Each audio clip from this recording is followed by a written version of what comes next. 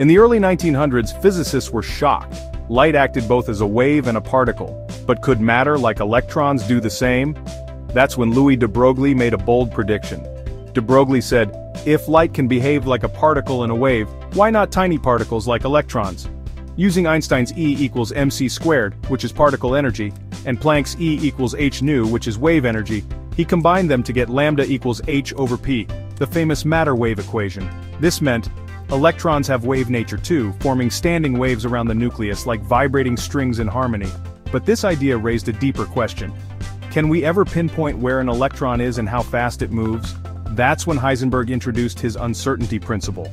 The more precisely you know position, the less precisely you know momentum, and vice versa. The formula is delta x times delta p is greater than or equal to h over 4 pi. So electrons aren't particles orbiting neatly. They exist in a fuzzy cloud of probability around the nucleus. Here's why this matters. If an electron were forced close to the nucleus, meaning a very certain position, its momentum becomes highly uncertain. It could gain so much energy that it flies away. This uncertainty prevents the electron from crashing into the nucleus and keeps atoms stable.